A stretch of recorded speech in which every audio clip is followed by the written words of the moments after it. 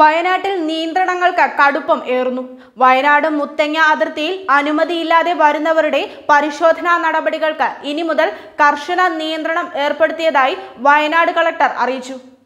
അനുമതിയില്ലാതെ വരുന്നവരുടെ പരിശോധനാ നടപടികൾക്ക് വലിയ ബുദ്ധിമുട്ടുണ്ടാക്കുന്നു.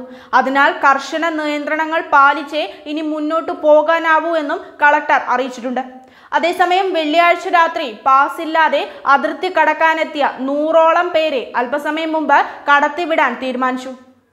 ഒരനുമതിയും വാങ്ങാതെ എത്തിയ ഇവർ വെള്ളിയാഴ്ച രാത്രി മുഴുവൻ അതിർത്തിയിൽ കാത്തിരിക്കുകയായിരുന്നു. എന്നാൽ ഇനി മുതൽ മുത്തങ്ങ അതിർത്തി വഴി വരുന്നവർക്ക് നിയന്ത്രണങ്ങൾ കർശനമാക്കിയിരിക്കുമെന്ന് ജില്ലാ ഭരണകൂടവും വ്യക്തമാക്കിയിട്ടുണ്ട്. അനുമതി രേഖയില്ലാതെ ആരെയും ഒരു കാരണവശാലും അതിർത്തിയിൽ നിന്ന് കടത്തി വിടില്ലെന്നും പാസുമായി വരുന്നവർക്ക് സ്വന്തം വാഹനം ഇല്ലെങ്കിൽ ചെക്ക് പോസ്റ്റിന് സമീപം ടാക്സി കാറുകൾ ഏർപ്പെടുത്തുമെന്നും ജില്ലാ കളക്ടർ അറിയിച്ചിട്ടുണ്ട്. കഴിഞ്ഞ ദിവസങ്ങളിൽ യാത്രാ അനുമതി ലഭിക്കാത്തവരടക്കം പരിശോധനാ കേന്ദ്രങ്ങളിലേക്ക് കൂട്ടമായി എത്തിയത് നടപടികൾ ബുദ്ധിമുട്ടിലാക്കിയിരുന്നു. മറ്റ് സംസ്ഥാനങ്ങളിൽ നിന്നും കേരളത്തിലേക്ക് വരുന്നവർ ഏത് സംസ്ഥാനത്ത് നിന്നാണോ വരുന്നത് അവിടെ നിന്നുള്ള യാത്രാ അനുമതിയും ഏത് ജില്ലയിലേക്കാണോ വരുന്നത് ആ ജില്ലാ കളക്ടറുടെ അനുമതിയും വാങ്ങണമെന്നാണ് നിലവിലെ നിർദ്ദേശം.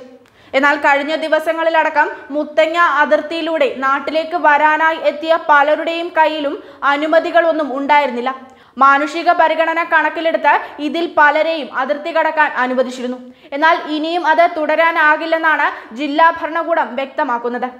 കേരളം പാസ് അനുവദിക്കുന്നത് നിർത്തിയെങ്കിലും പ്രതീക്ഷയോടെ നിരവധി മലയാളികൾ അതിർത്തിയിൽ എത്തുന്നുണ്ട്.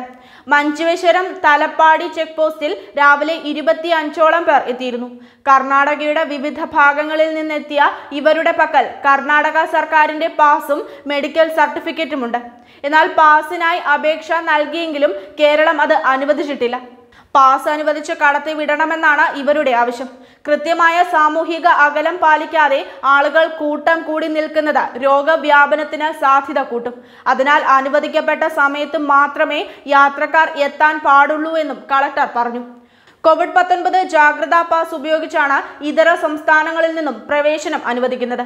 ഏതെങ്കിലും സാഹചര്യത്തിൽ രജിസ്റ്റർ ചെയ്ത വാഹനം ലഭ്യമായില്ലെങ്കിൽ മറ്റു വാഹനങ്ങൾ ഉപയോഗിക്കുന്നതിനായി യാത്രക്കാർ പ്രത്യേകം വാഹന പാസിന് അപേക്ഷിക്കണം.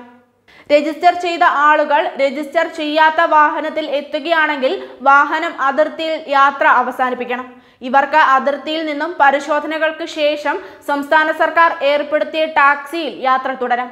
രജിസ്റ്റർ ചെയ്യാത്ത ആളുകൾ രജിസ്റ്റർ ചെയ്ത വാഹനത്തിൽ എത്തിയാലും സംസ്ഥാനത്തേക്ക് പ്രവേശിപ്പിക്കില്ല. മുത്തങ്ങ ചെക്ക് പോസ്റ്റിന് സമീപത്തെ മിനി ആരോഗ്യ കേന്ദ്രം സന്ദർശിച്ച ജില്ലാ കളക്ടർ ഇത് സംബന്ധിച്ച നിർദ്ദേശം ഉദ്യോഗസ്ഥർക്ക് നൽകിയിട്ടുണ്ട്. അതിർത്തിയിലെത്തിയവർ ഭക്ഷണം കുടിവെള്ളം എന്നിവയുടെ ദൗർലഭ്യം മൂലം വലയുന്ന സ്ഥിതിയാണ് നിലവിലുള്ളത്. രണ്ടു ദിവസം യാത്ര ചെയ്ത് ക്ഷീണിച്ചവർക്ക് കടുത്ത ചൂടിൽ മരത്തണലാണ് ഇപ്പോൾ അഭയമായിരിക്കുന്നത്. News desk Karma news.